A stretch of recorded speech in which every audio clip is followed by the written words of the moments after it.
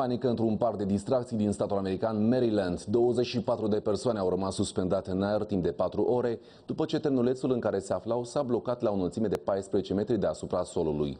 Oamenii au fost salvați cu ajutorul pompierilor. Aceștia au primit asistență medicală, apă și umbrele pentru a se proteja de soare. Autoritățile au anunțat că nu au fost înregistrați răniți. Potrivit presei locale, incidentul a avut loc din cauza unei defecțiuni tehnice la mecanism. Trenulețul poate ajunge la o viteză de 80 de km la oră în numai 3 secunde și a fost dat în folosință în anul 1999.